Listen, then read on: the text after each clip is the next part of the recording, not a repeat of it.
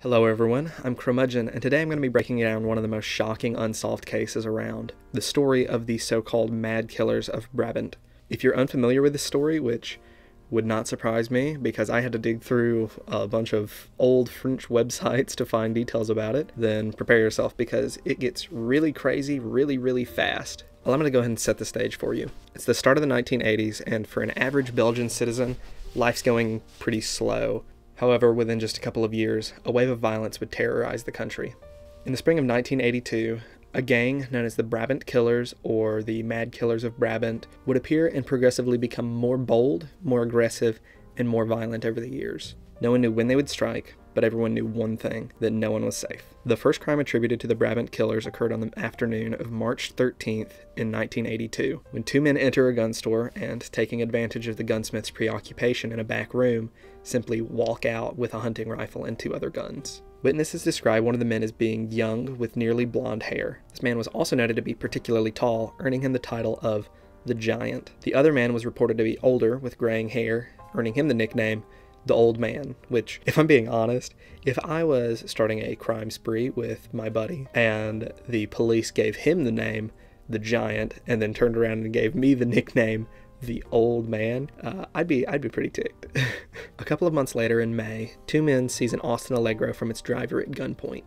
The two men are described as being in their 40s. One is tall, with black hair and a mustache. The car they stole, however, was running on empty and was in pretty bad condition, so the men were forced to abandon the vehicle in favor of another. Once the men abandoned the Allegro, they forced open the lock to a Volkswagen dealership. There, they steal a blue Volkswagen Santana. This is the car that would later be used to facilitate the gang's first major violent crimes. On August 14th of 1982, two armed men break into a supermarket in Maubeuge, France. They begin to steal food, wine, champagne, and foie gras. An anonymous phone call to the police notifies them of the robbery, and three officers show up to the scene. Immediately, both robbers open fire. Two of the officers are seriously wounded, allowing the robbers to escape. Fortunately, both officers survive. Unfortunately, this places them in the minority of those who attracted the violence of the Brabant killers. While many may have originally thought this to be an isolated incident, time quickly proved otherwise. Just a month and a half later, on September 30th of 1982, the crime spree of the Mad Brabant killers would kick into high gear when three armed men would storm a weapons dealership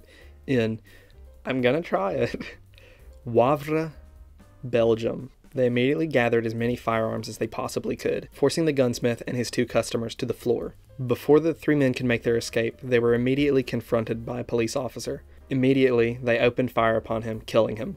Seeing that their luck had turned, the three robbers made their escape in the same Volkswagen Santana that had been used in the grocery store robbery. However, this time their getaway was not as clean. In fact, as they left, they were immediately followed by the gendarmerie. Basically, think France and Belgium SWAT teams. This turned out to be an intense chase, and in an attempt to end it, the gendarmerie opted to create a roadblock using one of their vehicles. They parked cars across the route that the Brabant killers were expected to take in their escape. Their prediction turned out to be right as the killers started to drive down the road towards the roadblock. However, they could not have been prepared for the absolutely batcrap crazy plan that the robbers decided to go with because do you want to know what they decided to do? Uh, do you think they maybe tried going off road? No. Instead, they decided that the best idea was to just floor it and they rammed into the roadblock at high speed and then immediately just opened up guns blazing on all of the cops nearby. Well, even more crazy than that is the fact that it absolutely worked out for them. That's right, after ramming into this barricade at high speed, then engaging in a massive firefight, the Brabant killers seriously wounded two of the gendarmerie and managed to make a big enough opening to escape, and they were not caught. Now, at this point, you're probably wondering the same thing that I was, which is how did some two bit thugs manage to outgun and outmaneuver not only the regular everyday police, but also Belgium's paramilitary, the Gendarmerie? Well, that really gets to the heart of what makes this case so interesting. You see, in many of the encounters with the Brabant killers, Police noted that the way they fought was not like your average criminal. Instead, they employed tactics and strategies that the police themselves were taught to use inside of firefights. It's one of the main reasons why they were able to shoot their way out of being captured so many times. And it's something that led many to suspect that the Brabant killers actually had ties with the police themselves. On December 23rd, the police would discover the body of a taxi driver and one final murder would be attributed to the Brabant killers. That is to say, one final murder in the year of 1982. Just like that, the year was over, and the police were no closer to making an arrest. Horrifically enough, despite all the awful things that had happened that year, the story wasn't even close to being over, and it was going to get much, much worse. I have to concede that in 1983, the list of crimes attributed to the Brabant killers was so long that for me to actually cover all of them in depth, we would be here all day. So, what I'm going to do is I'm going to hit the major highlights and kind of skim over some of them. And I think that'll be enough for us to piece together the full story and to have a little bit of a discussion about why this actually happened and what was going on. So, the first major crime of 1983 was on February 11th. This marks the start of a spree of supermarket robberies, which I think you'll come to find are really the bread and butter of what crimes the Brabant killers were committing. The first of these robberies occurred in Rixensart, the next in Uccle, then in Hall, and finally, one robbery occurred in Hoeding Guchnies.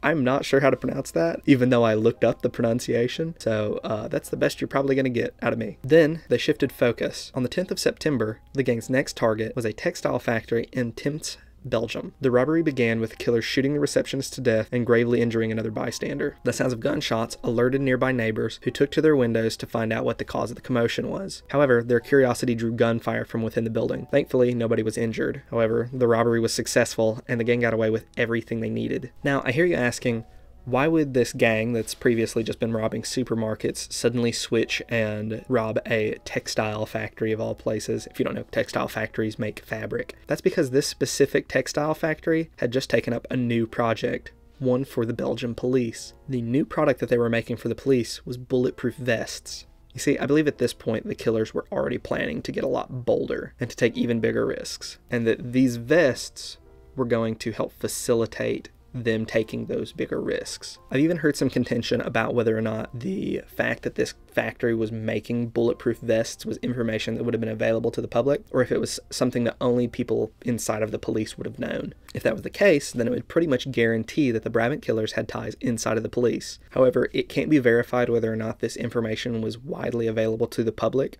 or if it was something that they really would have had ties to the police to know. In any case, just a week later, on the 17th, the killers would strike again, attacking and killing a couple who had stopped at a gas station. Despite the gas station alarm going off, the killers still took a pretty considerable amount of time to steal things like coffee and cooking oil, which that's one thing about this case is that they always stole very, very strange stuff. A lot of food. Then two gendarmeries arrived in response to the alarm, and they were immediately fired upon from within the building. One officer was killed and another was gravely injured. Seeing their opening, the gang decided that it was time to get out of there, so they hopped in a car that they had brought to the robbery and sped off. Later on, that same car was found riddled with bullet holes, suggesting that the gang members had shot at the car's gas tank in an attempt to destroy it. Very notably, police recovered evidence from this car that went missing under mysterious circumstances. But after this, things get even weirder because after a particularly violent jewelry store robbery on December 1st, the gang suddenly went dead silent and for almost two years, Belgium was allowed to think that the nightmare was over. For the entirety of 1984, nothing even happened. A new year came and went, and then another came, and then seasons passed winter, spring, summer. Then, in the fall of 1985, the Mad Killers of Brabant returned more bloodthirsty than ever.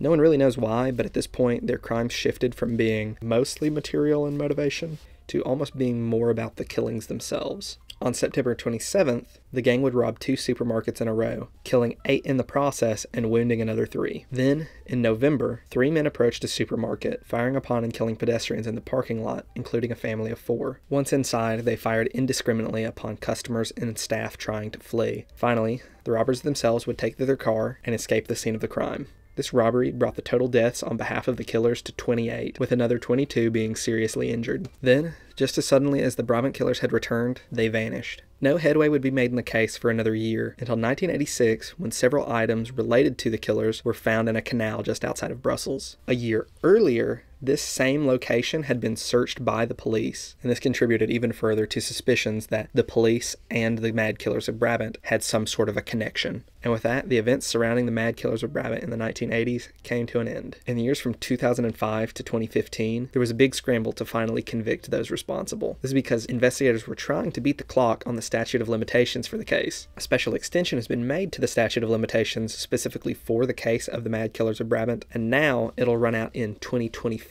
However, after that, the gang will have officially gotten away with it. Unfortunately, as the clock ticks ever closer, the police seem to have found precious little to lead to a culprit. But that doesn't mean the truth isn't out there. Overall, there are so many little peculiarities about this case that I just find to be incredibly interesting. Why are there so many intersections with the police? Why do the criminals steal such small amounts of money relative to the big risks that they were taking on every robbery? Why did they have such a strong preference for Volkswagen cars? Seriously, they stole like, I don't know how many cars, and like 90% of them were Volkswagens. And why do they spend so much of their time stealing food rather than money? Like, that's that's one of the weirdest things to me. Is that a common thing with robberies? But when we get down to trying to draw a conclusion about the case, I feel like there are two main possibilities that rise to the top. Taking a cursory look at the evidence and the suspicions of the investigators, it certainly seems possible that a conspiracy was at play behind closed doors within the gendarmerie and the police. But with that said, this connection's never been definitively proven. In recent years, several officers have come out claiming to be members of the Brabant Killers, with many of those claiming to be the giant himself. However, it seems like a lot of those confessions have been definitively ruled out, and absolutely none of them have been verified. Also, Notice how nobody's jumping to confess to being the old man, or at least if they are, I, I kind of have to imagine that it just went something like, Son, I was the old man. We know, Dad. Yeah, you're still an old man. No! And then he just dies. Do you think that the person who was the old man was like on his deathbed and he was just like, nah, I don't want to be associated with that name? it's lame. anyway, it could totally be the case that this is all just a testament to the negligence of the police in Belgium at the time. Uh, many of the most suspicious occurrences, such as evidence disappearing or the killers being able to get away mid chase, could either be chalked up to conspiracy or incompetence. If you ask me what I personally believe, I think there's just a little bit too much tying the killers to the police, uh, whether that be that they were members of the police themselves or if they just had deep ties with the police and the gendarmerie. However, with me simply being an interested individual who's researching this case through the internet from the other side of the world, for me to push that my own personal hunch is fact would be kind of foolish. So, what I really want to know is what you think. Do you believe that the Brabant killers were just a small time gang who stole for money and for the thrill of it? Or were they secretly a covert unit of the Gendarmerie carrying out political assassinations under the guise of robberies?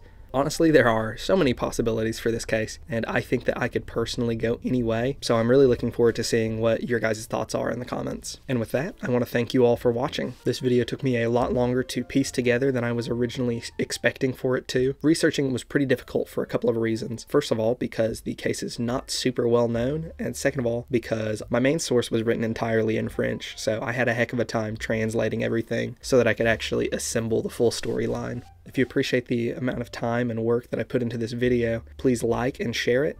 Uh, that way I can kind of get into the algorithm a little bit more. It helps way more than a lot of people actually realize. And finally, please subscribe if you enjoy this type of content. I've really enjoyed making these few videos, and I've already got more in the pipeline. So, I'll see you all with another upload in just a couple of days. Later, everyone.